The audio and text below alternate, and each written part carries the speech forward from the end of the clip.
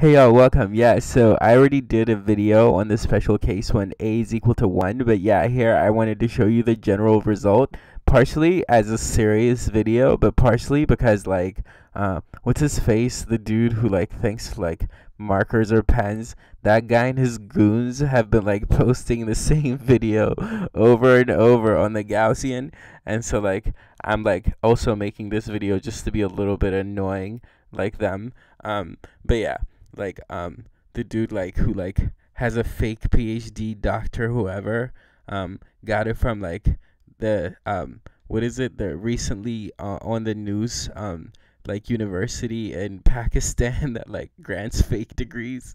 yeah, that dude has been making like the same videos over and over, dude. Um anyway, uh, here's how you start. Um so like if this here, right, is um I, then so is this, right? Because all I did is change from x's to y's. Okay, and oh yeah, as the title says, we're featuring Eminem and Dr. Dre in this video.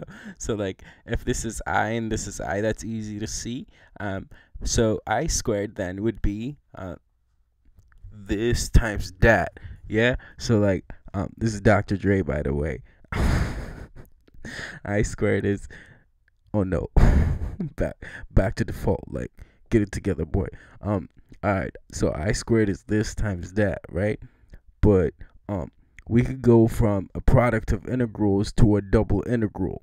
And if you want to understand that better, then you could watch um my video on the special case of a equal to one that I already shouted out. Nah, that was Royce. All right.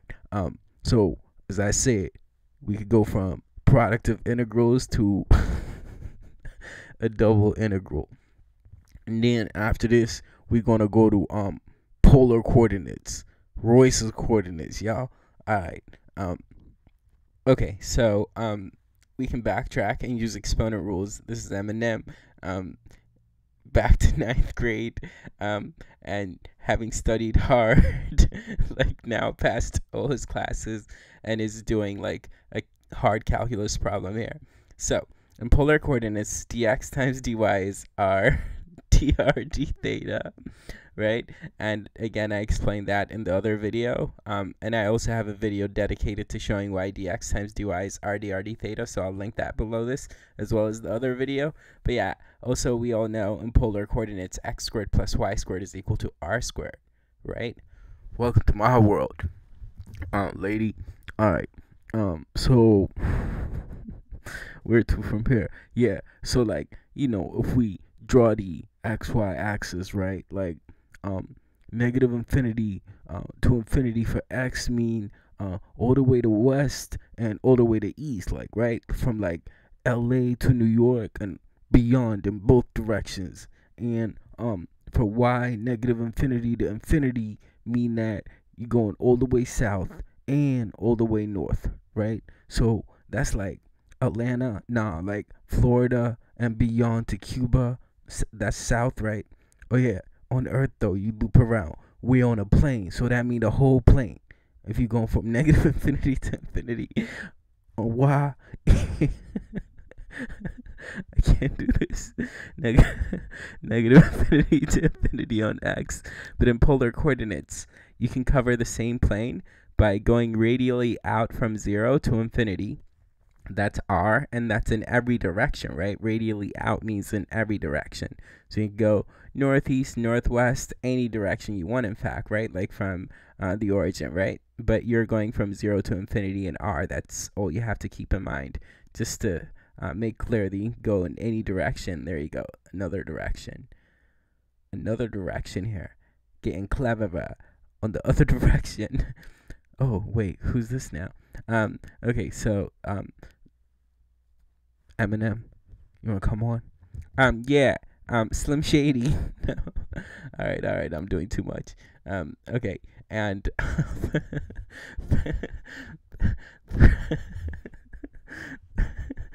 and and for theta, r goes from zero to infinity, and and for theta, you want to go all the way around and back. So that's 0 to 2 pi. okay, so I squared of polar coordinates is going to be. Let's set aside the limits of integration for a second. All right, Dr. Dre and Eminem, shut up. I got this. Okay. so that's r squared. And as we said already, dx times dy is r d r d theta. So r d r d theta. And um, of course, like you have to first deal with the uh, integration of r and then uh, theta, right? So like for r, we were going, as we said, from 0 to infinity. And for theta, we said that we're going from um, 0 to 2 pi, right? Okay. Uh, and as I said, we have to deal with the integral involving r first, right? The inner integral. All right. Now, that's just simple u sub. If you let u equal negative ar squared, then what I'm about to show you, which is skipping details, should follow. Like you should be able to get there with just simple u sub uh, where u is equal to negative ar squared again. And if you do it correctly, this is what you should get. Um, well, first, a horizontal ruler is in order. Um, all right. Come on. Um, negative a should be downstairs. Yep. And uh, we're evaluating from 0 to infinity, right? Now, I don't show you the details of that evaluation because, again, very simple.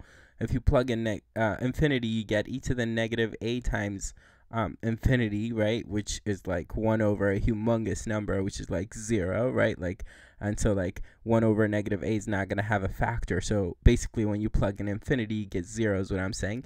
But then you got to do minus plugging in 0. When you plug in 0, you get negative 1 over a. But there's that minus you got to do, and therefore positive 1 over a. Now, 1 over a is a constant, so you could write it in front of the integral, and then you have 0 to 2 pi d theta integral, right? And that's, of course, top left. Let's go. Let's go. Um, and that antiderivative is just theta. Theta evaluated from um, 0 to 2 pi is fairly straightforward. It's just going to be 2 pi, but then we have that constant 1 over a. So i squared be like 2 pi over a. And therefore, i is i is um, square root of 2 pi over a. Yeah, cool. All right. Um, hope you enjoyed this. Bye.